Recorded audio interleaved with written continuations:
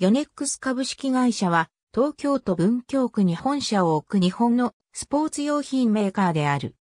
創業の地にある工場創業者の米山実が1946年に新潟県三島郡塚山村で米山木工所を創業する。当初は漁業用の木製武器を製造していたが、後に樹脂製が発売されたことで経営が思わしくなくなり、やむなく製造品目の転換を余儀なくされる。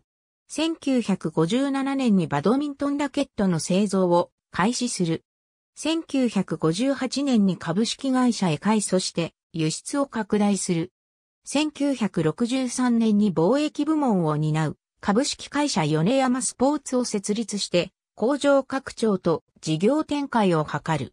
1974年に社名をヨネックススポーツ株式会社へ米山スポーツをヨネックス貿易株式会社へそれぞれ解消して、テニスラケットの製造に注力する。1982年に社名をヨネックス株式会社へ解消し、ゴルフ市場に参入して、ゴルフクラブやウェアの製造を開始する。1995年にスノーボード市場へ参入し、2011年に J リーグ柏レイソルとユニフォームサプライヤーとして契約してサッカー市場へ参入する。初代ロゴマーク2代目ロゴマーク、空に由来する青と大地に由来する緑をコーポレートカラーに採用している。シンボルはこれら2色の帯に創業者の米山の2つの Y から取った U のロゴを組み合わせたもの。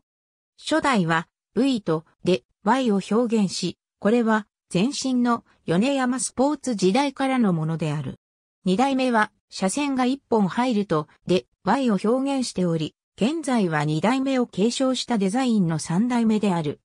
1980年代後期にロゴマークについてのテレビ CM をニュースステーションなどの番組でテレビ放映していたことがある。